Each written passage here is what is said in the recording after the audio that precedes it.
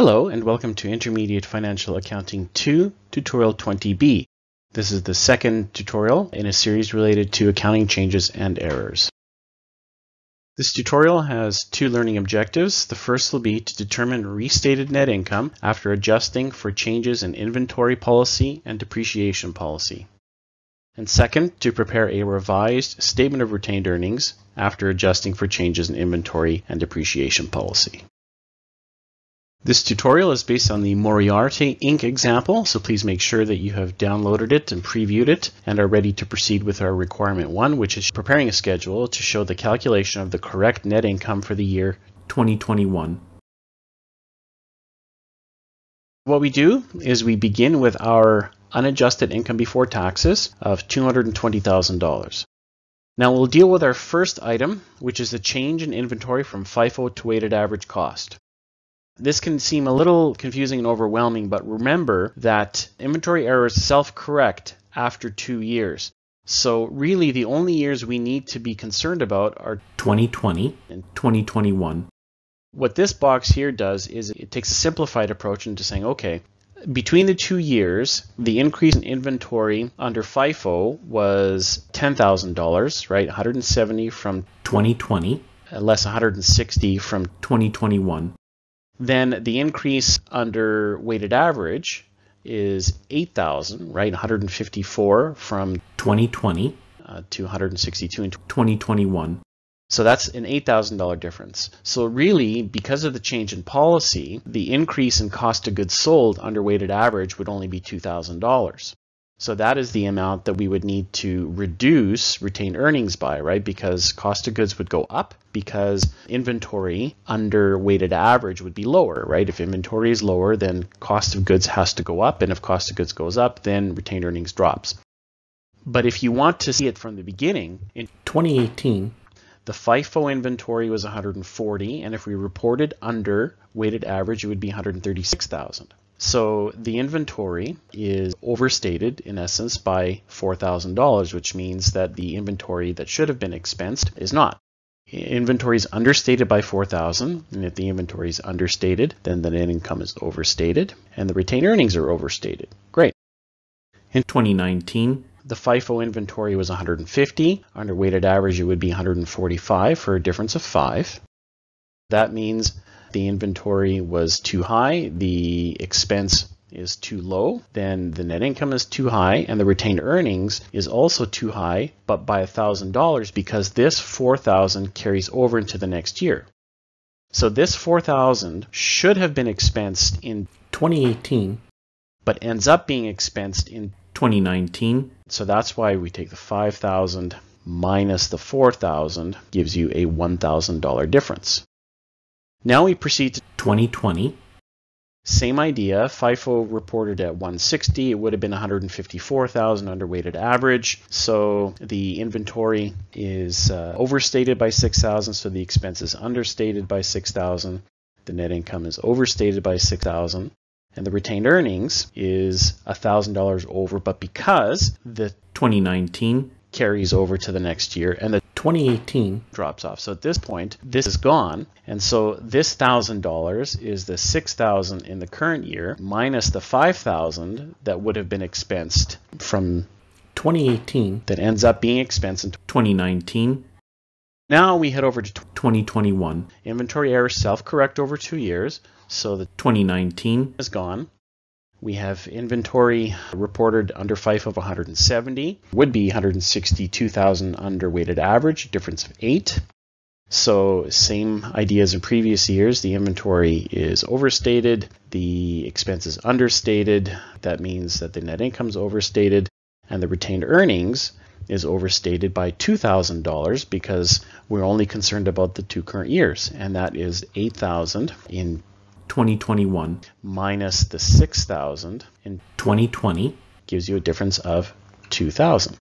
The whole point of this is you do not have to look at any years prior the current year and the previous year because the inventory errors self-correct themselves over two years. The next item is the uh, change in depreciation expense that we'll talk about in note 2. As recorded, the depreciation was 54,167. That's based on a cost of 700,000 minus a residual of 500,000 divided by 12 years.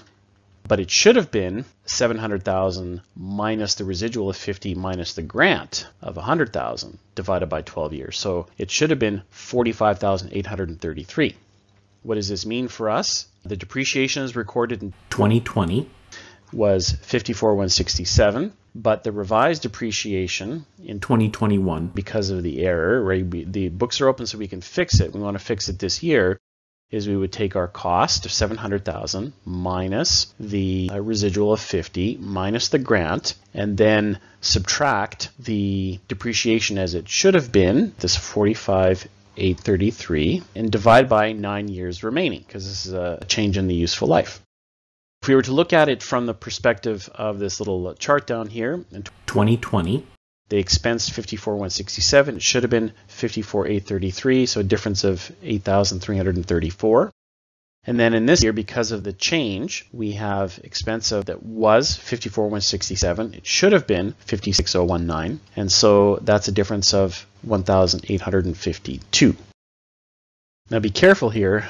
This 1,852 is the only item that gets changed here because this 2020 would be adjusted to retained earnings. Remember what we're doing here is revised income statement, right? We're not doing a retained earnings statement yet. So this goes to the income statement and this would be adjusted to retained earnings.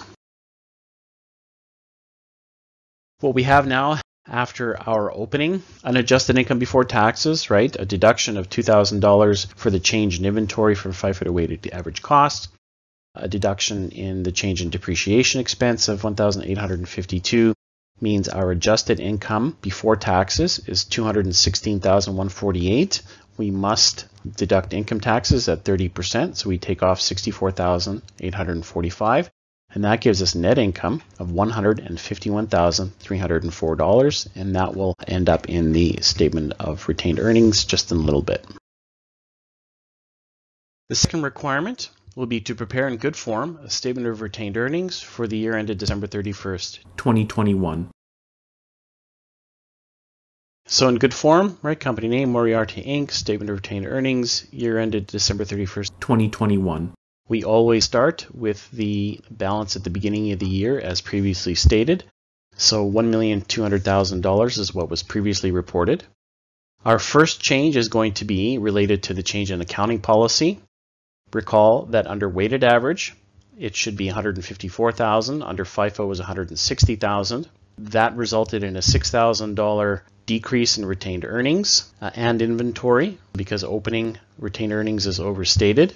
That $6,000 adjustment times 30% for income tax is $1,800. So we will deduct from beginning retained earnings 4,200 due to the change in accounting policy. The next item will be the correction of the government grant error. The government grant that's included in the 2020 income was 100,000 it shouldn't have been included in income, so we need to subtract 100,000, but of course there's an income tax effect of 30%, so 30,000, which means a net adjustment after tax of $70,000. So we're going to deduct that from the retained earnings. Next item will be the depreciation expense correction.